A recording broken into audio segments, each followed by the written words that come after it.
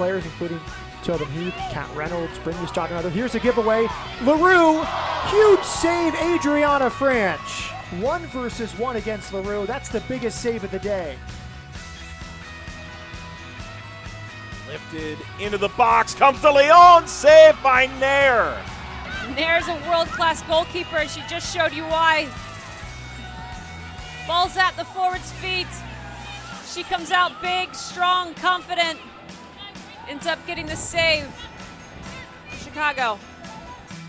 Opportunity again for the Spirit. They drive into the box, cut across toward Ordega. Knocked down by Kapar Salon. And the save coming from the defender. Huster playing it across. And the defense standing up. Sugi finding a way to block that shot there. It's a great save by Kopmeyer. And then good block by Sugi. Ertz into the area, tried to lay it off for Press. Dropping it back, setting up a shot that's tipped away off the post and out by Smith. And you can see why Smith is ranked high with the amount of saves that she's had so far this season. Good reaction,